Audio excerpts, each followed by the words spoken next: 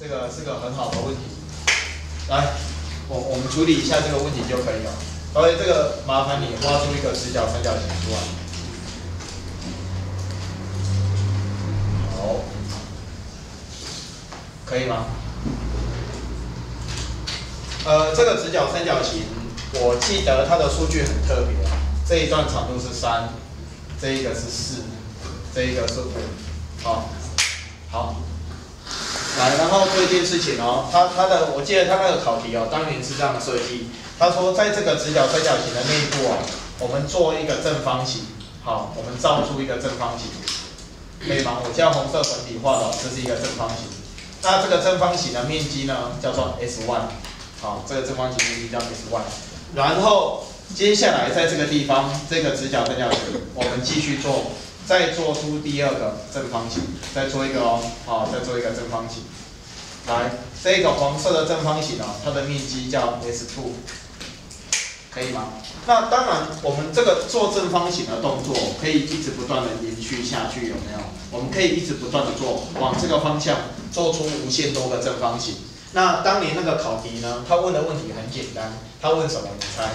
他问说，请你把这无限多个正方形的面积通通怎么样加起来？请问它的总和是多少？S n。来，请问它的总和？OK，来这个小题目哦，请你写上去哦，就上去。来，要不要做做看？好，我们我们昨天其实谈过嘛，无限多个几何图形相加，不管是面积啦还是周长哈，通常都会形成无穷等比级数。那形成无穷等比级数，他今天敢问你这个问题，显然他是收敛的嘛。那我想你要回答这个问题，你一定要掌握几个关键哦。第一个就是公比跟首相，对不对？好，所以同学，我现在应该希望你先做一件事情，你是不是应该先算出这个 S one 的面积？你先把首相算出来。然后再算公比，然后求出这一题答案。来，我们让同学先来尝试一下，这样好吗？好。哎，我们假设这个正方形的每一边长度叫做 x，好不好？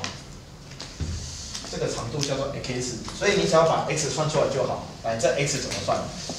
这个国中问题啊，这个我来问谁？啊，问卓林好，好久没有请教卓林。x 怎么算？我不知道题目。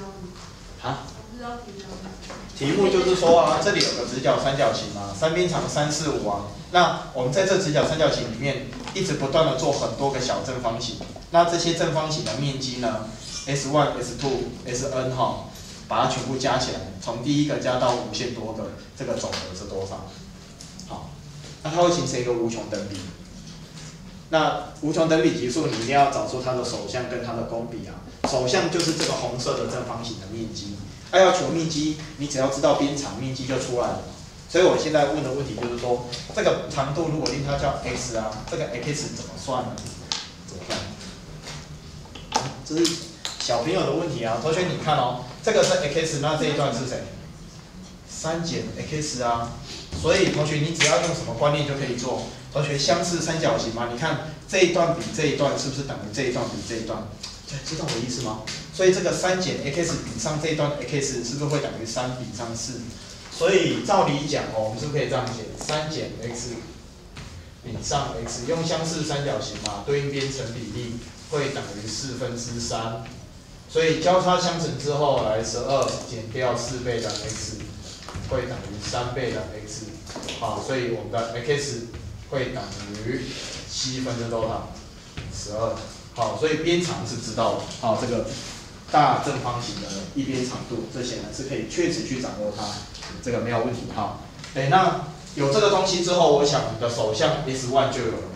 你的 S one 就是谁？呃，四十九分之一四四。好，手相简单了，好，手相很容易找。OK 吗？所以手相有喽。好，那接下来我们要掌握我们的公比了。同学，公比比较。好，我觉得同学公比哦比较不容易找。哦。面积比会等于边长的平方比，所以我们不仿定这个 S two 这个小正方形的它的每边长度，我们不仿定它叫做谁？这个是 x 哈，我们不仿定它每边长度叫做叫做 y 哈，好，可以吗？每边长度叫做 y。所以我现在的目标应该是要 focus 在我想要去求公比嘛哈，面积比等于边长的平方比，所以我要找的 y 除以 x 的平方，对不对？我想要知道这个东西。好，来，同学，这个要怎么做呢？呃，哎，我要问谁？我来问那个，还问，我还问，我还问榜首好，来那个洪少，来，你主起是来，你看，来看一下来，哎，怎怎么怎么算？怎么算？一样用笔的吧？用笔，大家怎么比？怎么比那个 x 减 y。？x 减 y，你是说哪一个？这这这一个吗？对对对。哦，OK OK，哦，那个我们的歧视是说这样的来，这个三角形嘛，跟这个三角形是相似嘛，所以这个是 x 减 y 嘛，那这个是 y，哦，所以它意思是这样，来 x 减 y 除以 y，鲨鱼鳍。什么什么差是可以等于四分之三。哎，等一下，照常的意思是这样嘛，对不对？对嘛，哈、是是这样嘛，对不对？就是这一段比这一段会等于这一段比这一段嘛。所以如果他这样讲的话，哎，好了，所以如果这样讲的话，s 除以 y 应该会等于这个是负一移过来哦，四分之三加一变成四分之七，对不对？所以 y 除以 x 应该等于多少？七分之四，好，哎，这样子做 OK 了哈，这样做应该可以哈，所以 y 除以 x 是七分之四，所以我们的公比 r 应该会变成四十九分之多少？四十九分之十六，好，这个没有问题哈，所以公比跟首相都有。呃，其实这个题目应该有比较简单的观念，来，你看哦，我个人啊，其实我会习惯这样做，来，你看这边哦，同学，这一段是不是 y？啊，这一段是不是 x？我问你啊，来，你看我手指头，同学，这一段比这一段，是不是会等于这一段比这一段？你你知道我在做什么事吗？我再讲一次，来，同学，你看，因为它相似嘛，有点像你把一张纸有没有拿到影印机去放大跟缩小，它会成比例，所以你看哦，这一段比这一段，是不是会等于这一段比这一段？所以这是 y，这一段是 x，对不对？所以我个人会这样想，来，y 比 x，其实它会等于 x 再比上多少？x 再比上多少？三啊。所以 x 我们刚才是不是算出来叫做七分之十二？七分之十二除以三，所以变成七分之多少？七分之四，对不对？看，是不是这个结果？对吗？好，这个很合理哈。好，那我想这个题目，呃，首项都有了，公比也有了，所以这一题答案是多少？这一题答案哈，来我们的 S 就是一减公比分之首项，一减掉四十九分之十六，来首项是四十九分之一百四十四。来，你算一下这个答案是多少？九班有同学帮我算，好，我看一下他们算的答案是，呃，他们算出来的答案是我看一下，十一分之四十八是吗？十一分之四十八。他们有做的啊。好，来小问题哈。跟你说啊，这种题目千变万化，以前还有考过什么，你知道吗？考过这一种的。好，这个你感兴趣也可以做。我记得还有考过这一种，这里两条线，然后这里有一个圆，好，这有个圆。比如说这个圆的面积叫 S1，S1 随便给，假设叫一百，你你听懂吗？假设它面积是一百，然后从这里哦再继续做，再做一个圆，这个面积叫 s two，从这里再做 s 三、s 四，一直做，对不对？可以做无限多个圆。请问这无限多个圆的面积总和是多少？你有没有觉得这种题目就是这样？好，考正方形的面积总和，考圆的面积总和，是不是都可以做？可是圆会稍微再难一点哦，你要仔细听哦，圆会稍微再难一点。好，你感兴趣你可以想想看，如果这边这个圆，好，这个首相这个面积假设是一百，然后你做无限多个圆跟这两条线同时相切的话，这些圆的面积总和是多少？好，你可以考虑一下这个问题可以怎么处理哈。好，那我们这个主题呢，就跟同学谈到这边喽。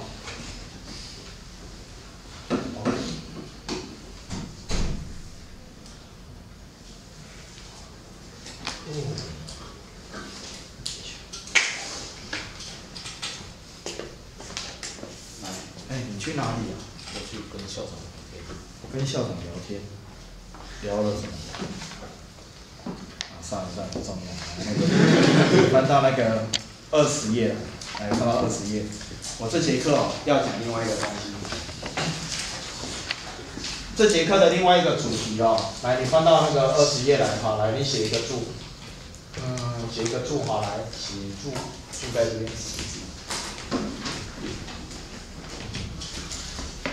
我这里要跟同学谈一个以前就谈过的问题，来，请看这边哦。同学，我们以前学过循环小数，对不对？来，零点九九循环，零点九九循环，请问同学哦，它到底会等于一呢？或者，来零点九九循环，它会比一小？当然，根据三一律哦，同学都知道，你不是比一大就是比一小，要不然就是跟一是相等。比一大应该不会有人觉得零点九九循环比一大，应该不会有人这样认为。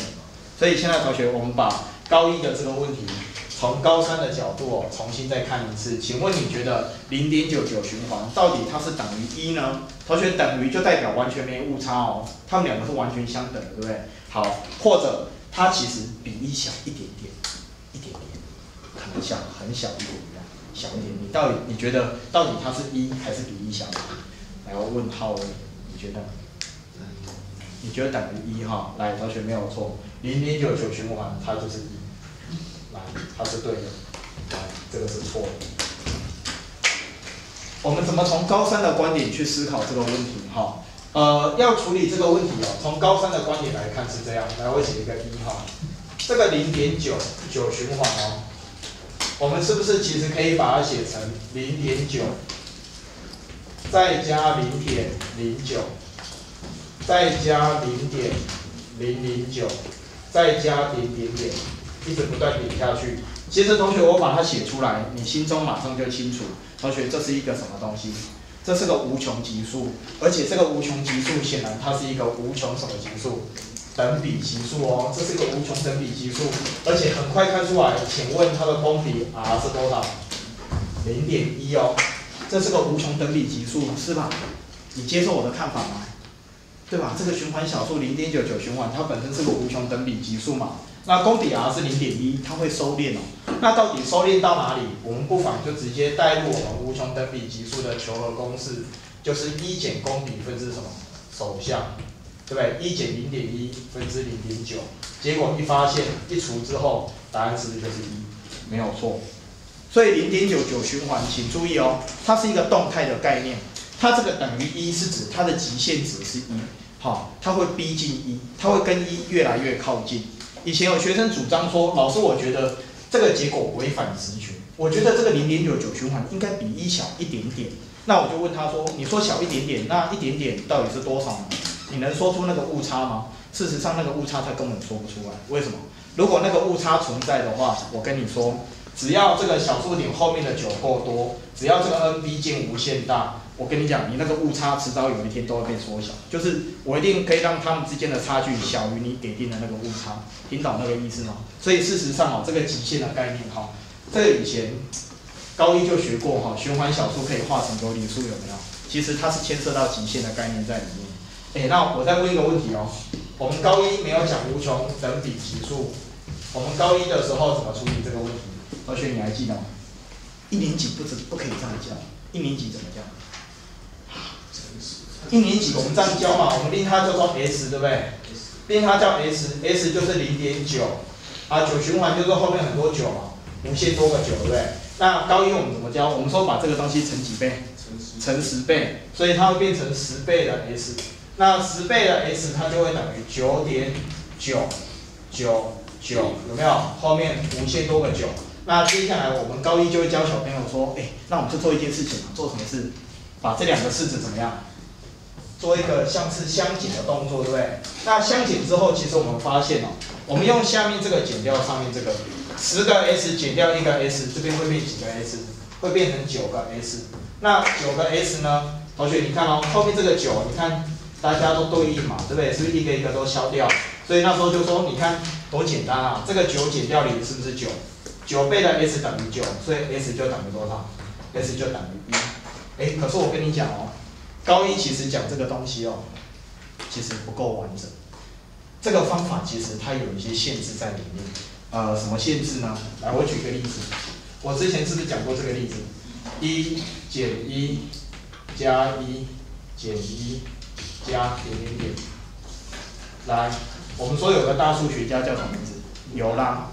虽然他是大数学家，可是他对极限的掌握并不精确，所以他在这种问题上，他犯了一种很严重的错误。他怎么做这个问题呢？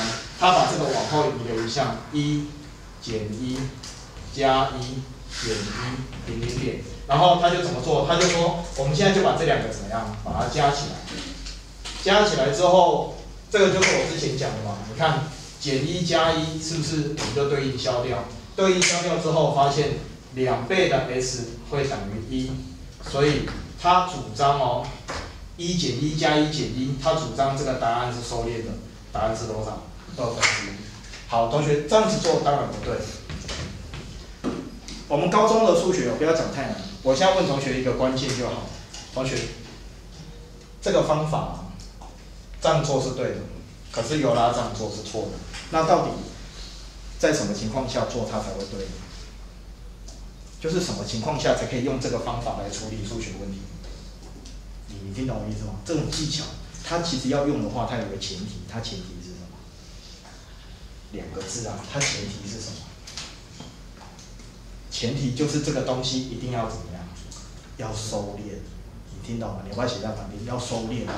它必须是收敛的，你才能够使用这个方法。像这个它本身不收敛哦，好，这个激素是不收敛的，它不收敛，你用这个方法肯定会出状况，一定会出包。注意哦，好，一定要收敛才可以使用这个方法，收敛才可以这样做哦，好，要注意哦，你要这个方法可以，好，你这个东西要收敛才可以，收敛才可以这样做。好，详细的证明可能等大学，如果你读的是什么电机啦，哦，数学啦，好，这种东西就会用很抽象的东西去证明它。好，那我们可以看一下我们的第二十页。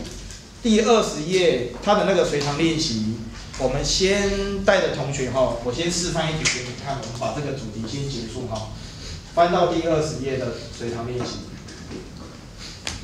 来，这个随堂，我做一题给你看嘛。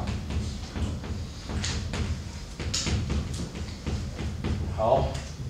这个随堂我们给他一个赞就好哈。他说将下列各循环小数化成分数。来，我做一题给你看啊。他说三点二一二一循环，对不对？好，你要怎么把它化成分数呢？我们现在用高三的观点来看这个问题哈。来，同学，这个东西可以写成什么？写成三，再加上它的循环的部分，其实会形成一个无穷等比级数哈。所以这个。二一循环的部分，我们其实可以写成零点二一，再加上零点零零二一，再加点点点，有没有？那它后面的这个部分，其实同学观察力不错，看得出来它会形成一个无穷等比级数。那显然，而且看得出来它的公比 r 是多少？啊，这公比 r 是多少？零点多少？零点零一。好，后面会形成一个无穷等比级数。所以呢，它的结果会变成三，再加上一减公比，来一减公比是零点零一，分之首项是多少？零点二一，所以它会变成三，再加上这是零点九九分之零点二一，所以是九十九分之多少？九十九分之二十一哈，三加上九十九分之二十一，可以吗？所以这题答案是多少呢？这一题答案算出来。应该会等于来三十三分之一百零六，好，我做一题给你看嘛，那个第二题你自己回去做练习，好，这不要同样的题目不要一直讲，好，有点浪费时间哈。那那个随堂练习下面有一段文字哦，同学拿出你的荧光笔，把那段文字整个都画起来。他说每一个循环小数的循环部分。都可以视为一个收敛的无穷等比级数，好，这句话画起来。所以循环小数我们都可以化成分数，也就是说循环小数全部都是有理数，好，循环小数都是有理数，OK，没有问题哈。好，前半堂课先讲到这边喽。